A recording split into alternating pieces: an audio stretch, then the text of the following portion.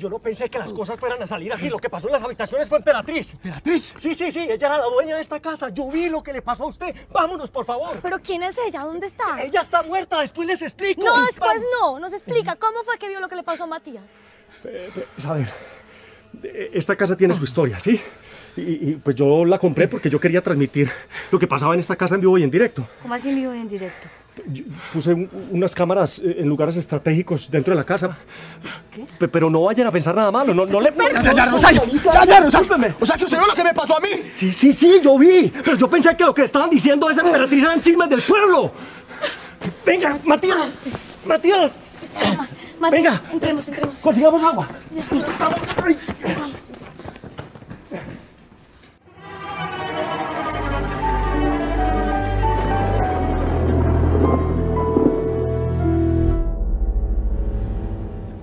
Era una mujer muy hermosa que se vino a vivir al pueblo. Pues nadie sabe de dónde. Como que era tan hermosa que al momentico todo el mundo estaba hablando de ella. Ella venía con el cuento de conectarse con la naturaleza y, y empezó a convocar pelados, hippies.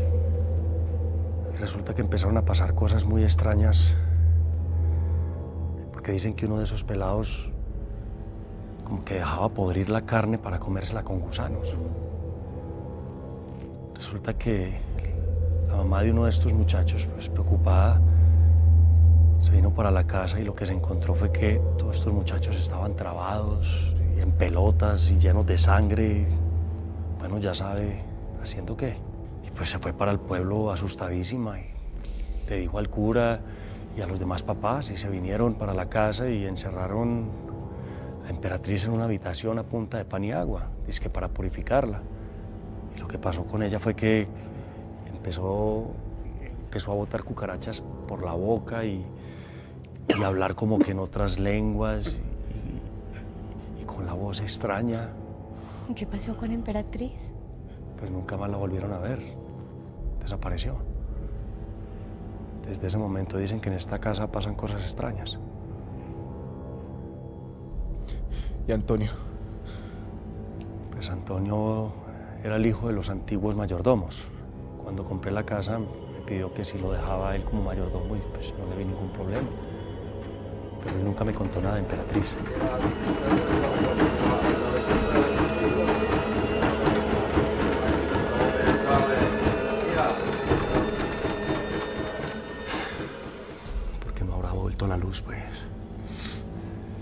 Ustedes tienen las llaves de su carro. Sí, pero no funciona. De pronto yo puedo hacer algo. Muchas gracias. Ay,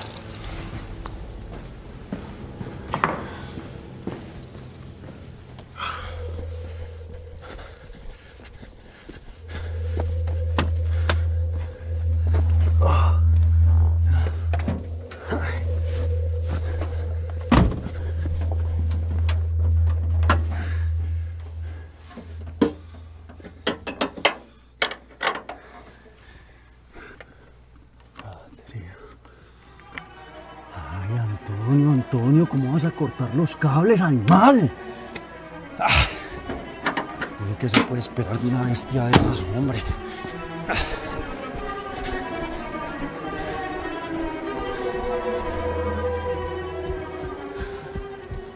No, no pude hacer nada, no funciona. No, vámonos, Mati. No, no, no, no, no, tranquila, yo voy por el carro mío y vengo por ustedes. Vamos, vamos. se- No, no, no, Mati, se preocupe, descansa. espé- Espérenme aquí. No se vengo. demore. No me demoro, ya vengo. Dios mío, ¿qué es esto?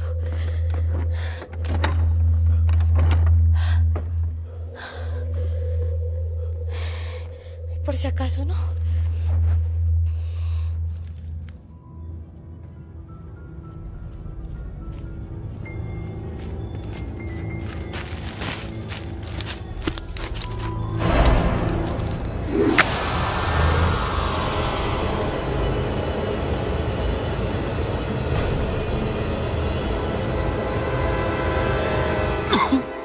Por favor, perdóname, sí, perdóname por no creerte, perdóname por todo, sí. No. Todo va a estar bien. ¿Sí? sí.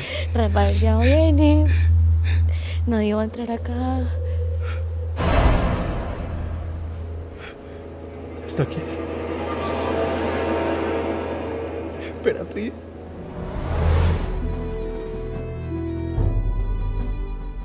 Puedes elegir el destino de esta historia. Opción A. Rosario debe ver a Emperatriz. Opción B. Rosario no debe verla.